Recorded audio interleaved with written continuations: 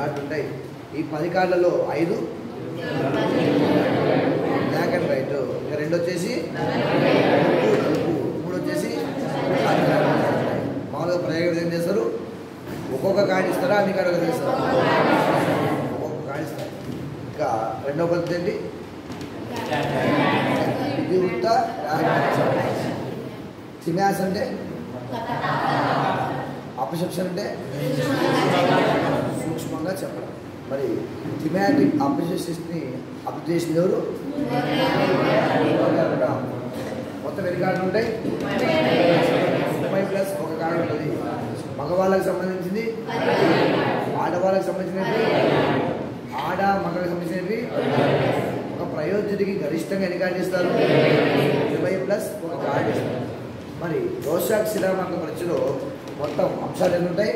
నాలుగు ఉంటాయి.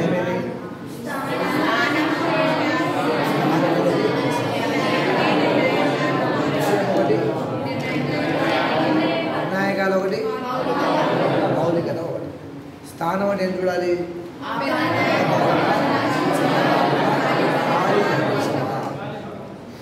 తర్వాత విషయం అంటే ఏం చూడాలి?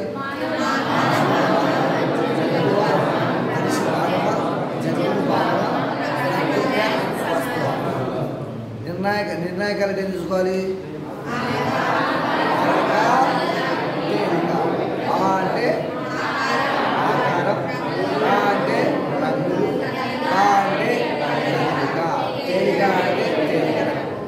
నిర్ణాయకాలంటే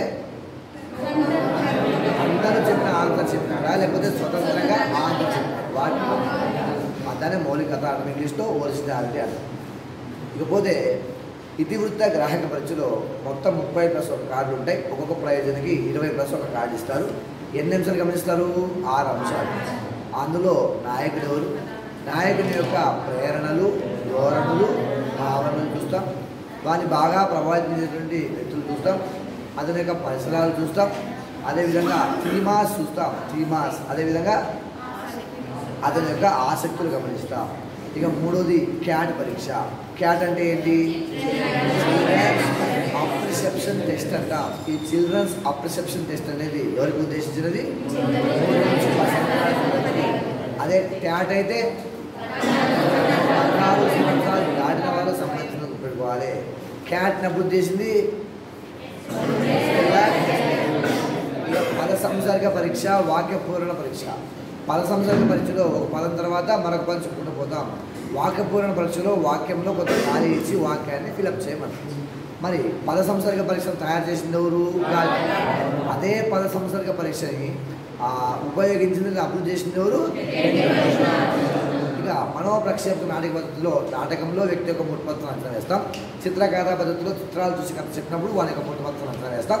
క్రీడా పద్ధతిలో అతను ఆడుకుంటున్నప్పుడు అతని యొక్క మూటపత్వాన్ని అంచనా వేస్తాం. దీనికి వీటిని ఏమైనా పద్ధతులు అంటాం సో ప్రక్షేప పద్ధతిలో ఒక వ్యక్తి అస్పష్టమైనటువంటి అసంపూర్ణమైనటువంటి ఉద్దీపనలో ఇచ్చేటువంటి ప్రతిస్పందనను బట్టి వ్యక్తి యొక్క మూర్తిమత్వాన్ని కొలుస్తావా?